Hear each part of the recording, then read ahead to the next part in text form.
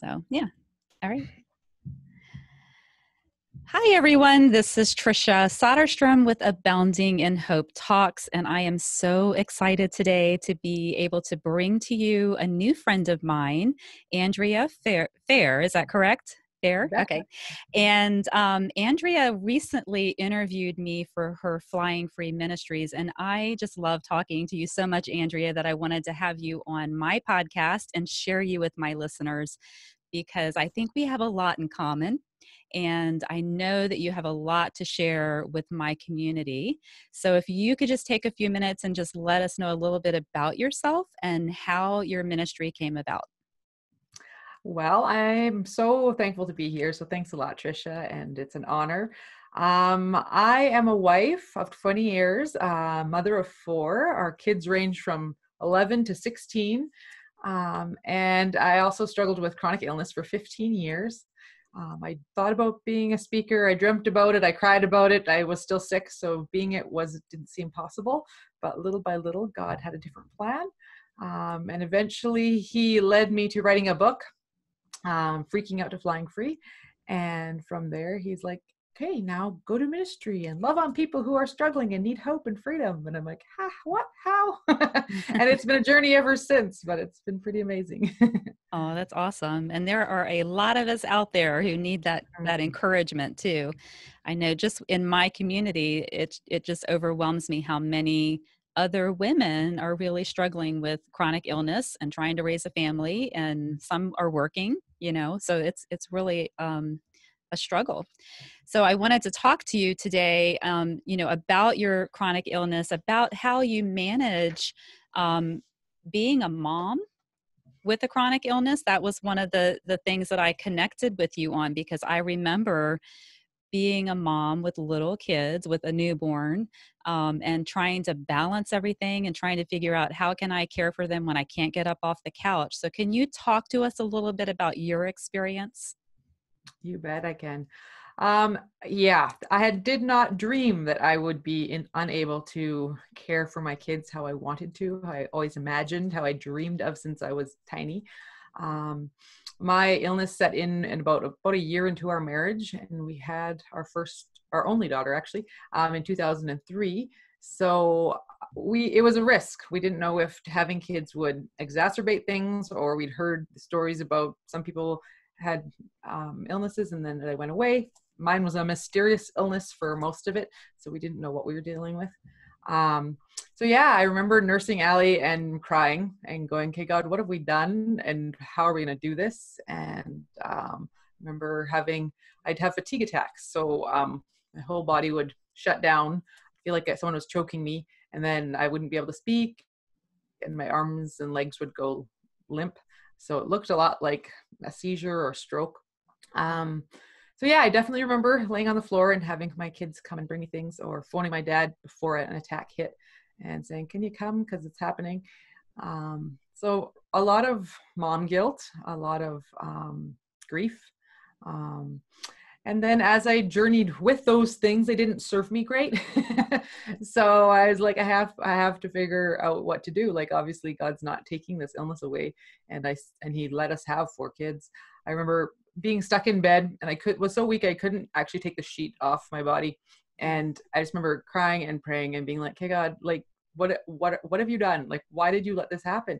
And um and he just spoke to my heart and he just said you you bring me glory just how you are. And i was i was so mad. I was like i don't care about glory right now. I want to go play with my babies. Mm-hmm. and and um and yet i I needed his words because he had a lot of teaching to do to my heart about just being and learning to be.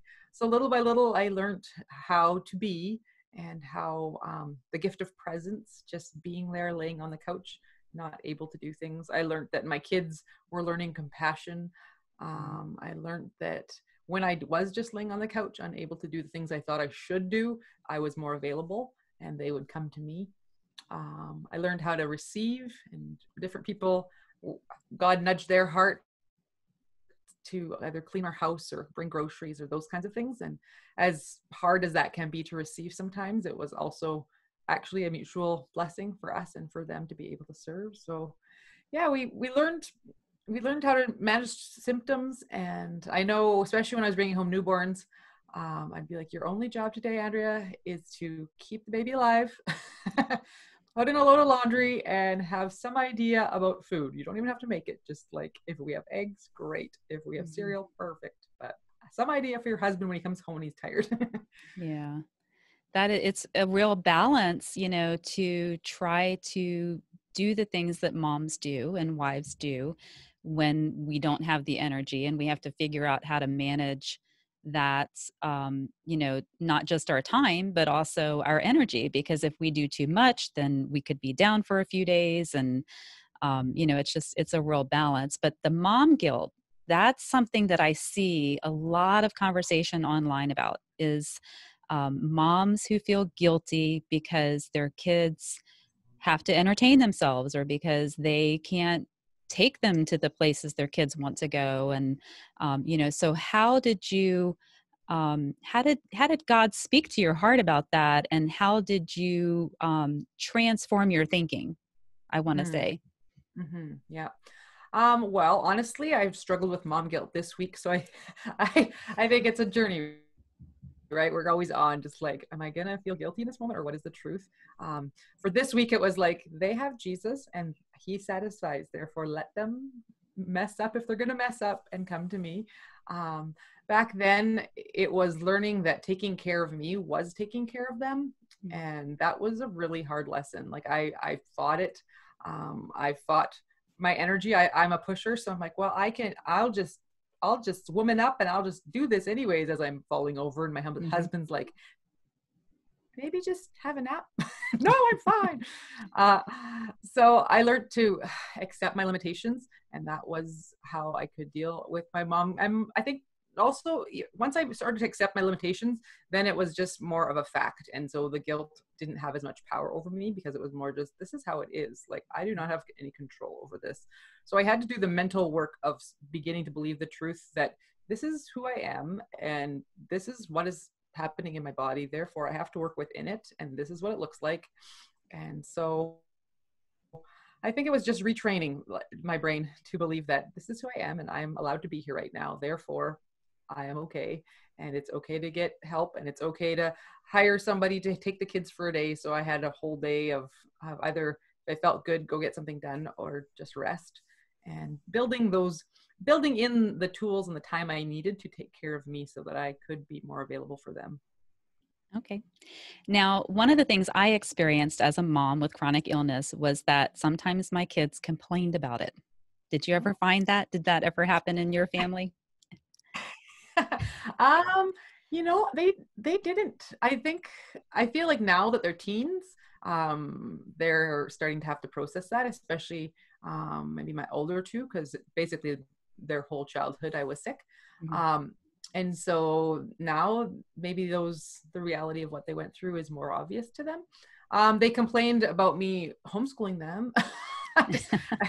they complained about uh, uh, yeah things like that but they didn't necessarily speak those words to me i think maybe god was protecting me because he knew i couldn't couldn't do that mm. um, but i think maybe we had a, a, pretty decent support we did have a really good support system of oh hey you're going to so and so's and i'm blessed that my parents live in the area too so okay. and i think they even because they discovered the fun i i let them have or we created when I could. So I remember we would be like, okay, let's go to the forest because we can right now. And maybe we couldn't stay for four hours, but we could stay for 45 minutes or whatever. So I think that was helpful. But yeah. Yeah. I think in my situation, it was a little different because my kids were also sick. So on their good days, I may not have had a good day. And then on my good days, they may not have had a good day. So it was, it seemed like we were always sick. And I think that it became a frustration for them you know for it was sure. hard to balance uh, finding the fun the good days to do fun things but we still did it was just a little bit more difficult more challenging than if i were the only one with an with an illness. So um, I was listening to one of your other interviews and um, also reading around on your website, and I noticed that you are an exercise advocate, kind of like I am. And um, you know, a big complaint for people, especially women who have a lot to juggle, and then we have to balance our energy. Um, what motivated you to exercise and when you were really sick how did you did you ever fall away from exercising and if you did how did you get back into it Wow, good questions. Um, I was a not crazy active person, but I enjoyed a good walk. Like when before I was sick, and volleyball and biking and those kinds of things. So when that got taken suddenly from me, it was a big deal. Like I, I had so many days trapped in bed or trapped in our apartment. We were on the fourth floor. it was like, oh great! By the time I get down the stairs, I am done for the day. Um, so because of that great loss for a chunk of time I I feel like um, any t- chance I got to be active was like this tremendous gift. So even if I got to play volleyball for a half an hour with a friend, it was like, oh my goodness. So I think I sought out activity on those days when I felt good. Um, my frustration was when I'd finally feel good and could actually get in a little bit of a workout. Um, I would, I couldn't necessarily keep it up, right? Because mm-hmm. I, you know, three days later you're in bed for three days, and so that was really really hard um, i was also motivated because i gained weight with my monkeys right so i'm like oh i need to not stay this way um, eventually i joined weight watchers and that was helpful to me um, god worked it out that i could get a ride so i didn't have to do that energy um, and uh, I remember sharing there about my chronic illness and hoping really bad and, and and the struggle with exercise. And I was just like, I can't even do it like so much of the time. Like, is it even worth it? Kind of thing. And I remember hoping that someone would be like, Yeah, you have a, you get a pass. You have chronic illness. And they didn't say that. they they're like, Have you heard of the Sit and Be Fit um, TV program that is running or something? And I'm like, No, I haven't. But basically, it was as long as you can move, you can exercise and yeah. so so I, I was pushed by that just to to keep on and yeah i would say that i'm kind of an up and down exerciser but um yeah moving forward it's definitely been something on my goals. I'm like i really my desire is to remain as healthy as i can for as long as i can. And so um, i feel really motivated in this season of life just to build that in as a good habit so i can model it for my tribe and beyond so. That's great. Yeah, I, I find that exercising keeps me going. When I stop, I tend to feel a lot worse, you know, a lot more stiffness, can't move. And I just know, like in my mind, if I don't do it, I'm not going to feel as well as I could. So that, that kind of motivates me with exercising.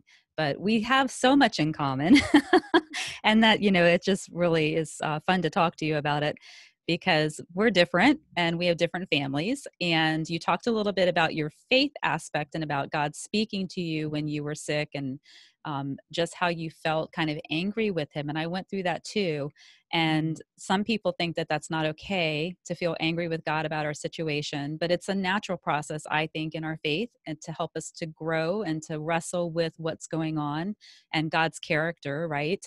Um, so in your faith journey like how did you did you have anything that you purposely did to um, i guess stay connected with the lord during that difficult time? Did you uh, did you just wait to hear god speaking or were you always talking to him or how did that work out in your life? Hmm good question. Um i i was became a friend of jesus when i was little and so and i'm pretty much a i don't know i'm a routine girl so i knew that like spending time with god counted and mattered. So i started when i was in grade four and i've been really faithful and um so i think my and obviously my walk with god has evolved over time and what that looks like. And i mean it wasn't until college that i heard about listening prayer and that kind of thing. And then as i um which became instrumental actually in my chronic illness journey because that was when I could share my frustration and then be still and have him speak to me or or have a sense of his voice through even just verses that pop out or songs that came to mind and I could recognize oh okay that's God nudging me back to truth. Oh that's God. And so for me um, I think that I probably during my illness I definitely talked about tons um, definitely was praying because even you know how reading can be a struggle and take energy on good days i definitely journaled and read the bible but music was huge because music uh, yeah, you don't have to work. You just can hear it. mm-hmm. You can lay there and absorb it. Um, I found a few, um, I think CDs that had um, just scripture verses uh, into music, and that was like so. I'm like, oh, I need a peace one. I need this, and just to let that minister to me. Yeah. And um, yeah, so in my journey, I I've come to know that when my heart starts to hum again, then I'm gonna be okay. And so so I had different little different little things in place that I knew would um, encourage me and bring me back to hope. And I guess also for a chunk there, um, talking about just allowing ourselves to feel what we feel. Like I, I would have said that I was telling people how I felt, but I think there was like a really deep underlying, like that mom guilt, like had compounded to the point of depression and suicidal thoughts. Mm. And, and so I was maybe sharing that I'm struggling, blah, blah, blah. And people knew that, but they didn't know the depths of the like, why am I even here? Like I'm, I am holding back my husband and my kids because I'm here. And so um, I, I have a walk-in closet and it, it's not huge, but I would hide from the kids in there sometimes because I get a few minutes of silence or if I just needed to cry my head off and I didn't want them to ask me why. Um, but it was in there that I, I just would keep pouring my heart out to God. And eventually he, he met me in such a profound way during one of those sessions and was just like, Andrea, look up. And I'm like, I don't want to look up. I just feel horrible for being in this place and I don't know how to get out. And he's like, look up. So I did. And he just poured out his love on me and was just like, you do not feel guilty for being where you're at. You, this is where you are and I love you. And that was definitely a, a turning point in my walk with him because I didn't have to work through, is he mad at me for being where I am? It was just more like, this is where you are and he receives you where you are. Mm. And so that was very helpful. wow, that's great.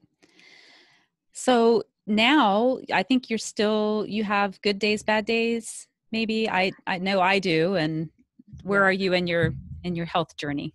Uh, my health journey has changed dramatically. Actually, I um, 2015 my brother passed away. 2016 um, his his wife was started taking a supplement and that had some really good testimonies attached to it. So uh, God had brought me to a place where we'd we'd been to, out of country for treatment. We we had finally gotten a diagnosis that I had chronic fatigue syndrome, um, which was a huge day, and um, I'd manage my symptoms. And she so she introduced the product to me, and I was like, well, I've tried a zillion other things, and you know how it is when you've tried a lot of supplements and you spend a lot of mm-hmm. money and you just. But God had brought me to the place where I was looking at my supplements in my hand and going, I don't even know if any of these help me. like maybe that one. And so I was willing to try something new. And little by little, I had my brain fog, fog lifted and uh, my energy increased. And even just, I'd crash, my, didn't, my blood sugar would go up and down. Um, those things have dissipated. And so I am living in freedom, living in healing right now. And I I mean, I would love for that to stay forever. I don't know. mm-hmm. I'll keep taking the supplements, but um, I've also, even in the last six weeks, been really aware of um, that it can't. It, it, our bodies are tense, right? We doesn't matter if my chronic illness part is is healed. Um, I tweaked my back the other week, and and wow, that brought back a lot of memories and a lot of triggers and a lot of like oh no i'm not it's like take take a breath. Just because you're hurt now doesn't mean but that sense of being trapped in your body and i i just remember that so it just came back so loud. And so i don't know i just want to tell anybody who's really just feeling trapped in your body um that I, I it's a horrible feeling mm-hmm. and it needs to be grieved and and so I know in my journey, I, I did some grief counseling regarding my brother and it ended up leading me actually back to my body journey and grieving the loss of what I thought my body would do for me um, throughout those um, child raising years. And um, just that, that is, yeah, just to be, to, be, to look into those feelings because they really are there for a reason. Right. Um, I remember feeling like if something happened to me, like I, I, I couldn't call for help so even like we got a security system in our house and I just needed that. And um, so I think just to be willing to be honest for what you need for to feel safe, especially when you don't have the ability to yell out or to push a button to get help. Um, those are important things to think through and uh, give yourself permission to take care of you the best way possible. Yeah. And the feelings the emotions that we can hold on to are so big and i didn't even realize it until i also um, i was talking to a friend she's a naturopath she's i confide in her you know and ask her questions about nutrition and things like that and she brought up the grief aspect of all that i lost because of my illness and i thought well i'm not suffering from grief but the more i looked into it and and kind of um, read about it i realized yeah there is that grief aspect to chronic illness because you do lose so much you know i lost 10 good years mm. um, and it i didn't even realize that that was maybe still affecting me and the emotional part of it i think that we do have to work on throughout our illness, but also once we've gotten to a place of healing and just make sure that it's not um, still there, you know, because you can't fully heal unless you've taken care of every aspect of your health, especially your mind. oh, so yes. that's so important. Okay, so your um you have a book called From Freaking Out to Flying Free. Yes, yep it sounds great. I think I need this book. I don't freak out as much as I used to, but you know I'm a type A person and I used to freak out a lot. but when I when I read the title, the thing that I thought was what you just mentioned about when you start to feel that your health is not in your control anymore and you start to feel like you're freaking out because oh no i can't go back into that place that was my first thought um, is that kind of what the book is about or is it about managing daily life um, well, that's the beauty of the book. In, in there is the freedom framework, and so I I walk through really developing your self awareness so that we acknowledge when our when our freaking out is rising up, and maybe it looks like just trying to control everything. Maybe it looks like yelling. Maybe it looks like super over planning um, but or maybe it looks like pushing through my my mode of operation was definitely often just to push through until i mm-hmm. crashed and so i talk about that a bit and then i also just um, teach the four step freedom framework that helps that has that God had been teaching me through that 15 years, and I didn't clue in until He's like, "Hey, write a book on freedom." I'm like, "What are you talking about?" and, and then I'm like, "Oh yeah, you have been growing me in freedom," and I could point to a bunch of different places in life where freedom was rising up, and I was like, "Why is that happening?" And He's like, "These are the four steps," and so I share about, um, yeah, charging up with Him and how and even just that the reality of for every freedom um, killer there's a builder and he has he has given us something to replace that negative attitude with gratitude or and and and I'm really a practical girl and so I wanted to develop really a handbook that people can use as a just to put in their toolbox to be like okay so yeah on a really bad day where does my where's my head going? On a really good day why is it so good? Like, is it really because I feel good or am I really leaning into Jesus? And it gives you the, I don't know, the steps you need just to navigate that. And it's really transferable and people can use it in any area of their life. So I do share parts of my journey, obviously, in there, but I wanted it to be available for everyone because freedom is all for all of us, no matter what we're facing. Definitely. That's great. I, I'm going to get your book. I can't wait to go through it. I think this will be really good for me. well, I just love talking to you, Andrea. I'm really thankful that we got to meet and get to know each other a little bit. And um, I just thank you for coming on my show and just let everyone know where they can find you. Um, you can find me at www.andreafehr.com. And you can also find me on Facebook, um, Flying Free Ministries. So, yeah, I'd love to connect. Okay, great. Thank you so much. And to everyone else, thank you for joining me today. And um, I will have all of the links and everything that we talked about in my show notes for you. So have a great day.